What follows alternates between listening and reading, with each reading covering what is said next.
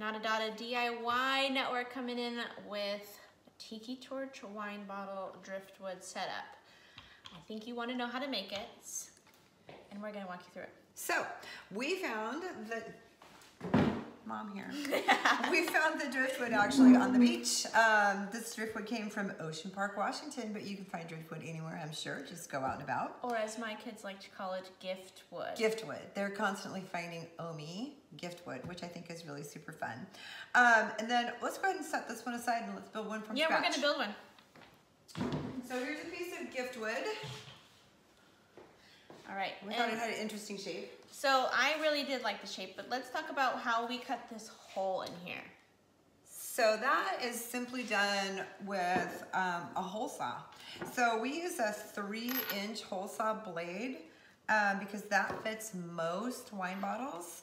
Um, and you can pick up a three inch hole saw blade from any hardware store and it just goes right on your drill. You don't need a drill press or anything like that. Just put it on your drill and it just makes a perfect hole that perfectly fits.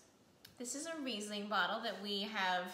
So her all bottled up business is recycled arts, um, really prominent. So this is going to be a recycled Riesling bottle that we have in the shop. That we have in the shop, yep. Um, but you can use your favorite wine bottle, clear one, green one, blue one, what have you. I just happen to have a lot of cobalt blue ones. And then um, this bottle just fits right into that hole. Look at that, this is perfect, perfect fit. Um, and then all the other things that we need, this is a three quarter by three quarter uh, plumbing coupling. And it just fits perfectly in the neck of the bottle. Um, and this is a tiki, wick. tiki wick, just it a tiki torch tiki wick. brand. Tiki brand. And you can get those at any hardware store as well. And these are in the Tiki Torch section, um, just where you buy replacement parts. And they're about a dollar a piece. I'm gonna show you the coupling bags here too. SharkBite three quarter by three quarter inch coupling, straight coupling. So the Tiki wick just fits right into the coupling. And that all fits right nicely into the bottle. Um, and then a couple things on these. Uh, I like to fill them about halfway up, and I don't know if you can get that up there to see. You can kind of see the color change in there, but there's a half. It's about half filled with. This is um, Crushed glass. Crushed glass, yeah. So I put crushed glass in there. You don't have to use crushed glass. Again, I'm a glass artist, so I just have a ton of scrap glass laying around, so I just use what I have. You could fill it about half full with sand or gravel or pretty rocks or whatever you can fit into the neck. But the point is, is that you wanna fill it up about halfway because one, wine bottles are pretty tall, and so the wick isn't gonna reach all the way to the bottom, right? So that's one problem.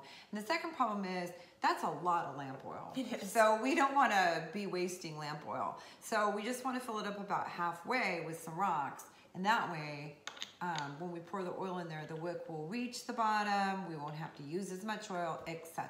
Does that make sense? Makes sense to me. All right, so the next thing we wanna do is decorate it. So now we've got it in our sturdy hole, our driftwood's all dry, and now we just have a bunch of shells that we have. Some of these I collected, this is from the Bahamas, a trip I took to the Bahamas. These are from Ocean Park. Ocean Park, Washington. These are from North Carolina. These are from the Columbia River. Um, About we the just have- starfish. Uh, that's from Michael's.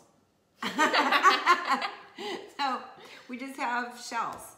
So I really liked the Michael's shell. I think that. I don't know. I think I like that. I think I just want simple. I think I even just like that. Yep. Um, you can use fishing net too to decorate with. You Rope. could use uh, nautical rope. You could just let your imagination go wild. But these are absolutely stunning. They make a great gift. Even if a home, uh, um, Housewarming.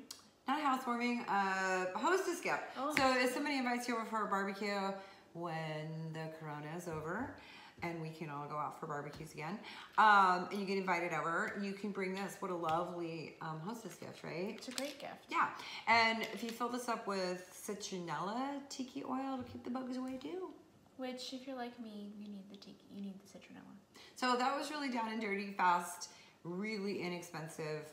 Um, you get all the parts and pieces, put this whole set together for about a dollar fifty. So that's all I have to say about that.